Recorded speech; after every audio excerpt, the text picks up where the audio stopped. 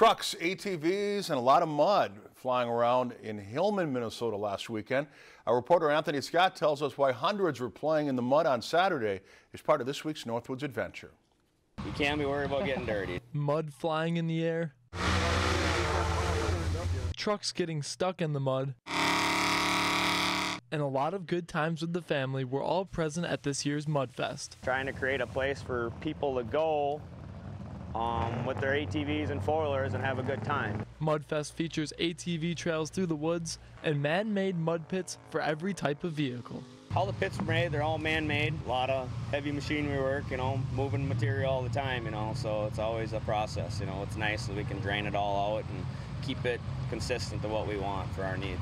There are two Mudfests during the year, one here on Labor Day and one also in Memorial Day, where the big trucks get in the pits and have some races. The racetrack is primarily just for trucks, so we tried some of the side-by-sides and things like that. We wouldn't do a four-wheeler racing because of the safety. Although there are no races on Labor Day, it's much, much better for family life. Yep, Memorial, Memorial Day is a little bit more of a party life. And it doesn't matter how young you are, you can enjoy the mud.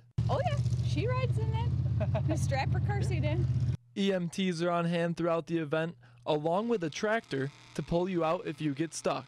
And if you get stuck, that's when you become one with the mud. You jump out and the mud goes up to your ears and it's fun. It's part of the game. People come to Hillman from all over the country for Mudfest, and they all love the mud for their own unique reasons. Yeah, getting dirty and uh, it's really fun. I just really enjoy beating on a truck. It's kind of like going tubing on a lake, you know, and you got somebody else with you. I mean, it's just you're out there giggling, laughing, having a good time, and that's what it's about, the smile on their face when you get back out. Like the adrenaline and like trying to get through the mud, not knowing if you're gonna make it, hitting bumps, just laughing, having fun with your family. Mudfest was another huge success this Labor Day, and the mud pits will be full of trucks again next Memorial Day.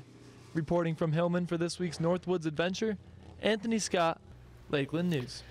All of the proceeds from Mudfest go to support the local American Legion, which is in the process of getting new siding for their building. If you enjoyed this segment of Lakeland News, please consider making a tax-deductible contribution to Lakeland PBS.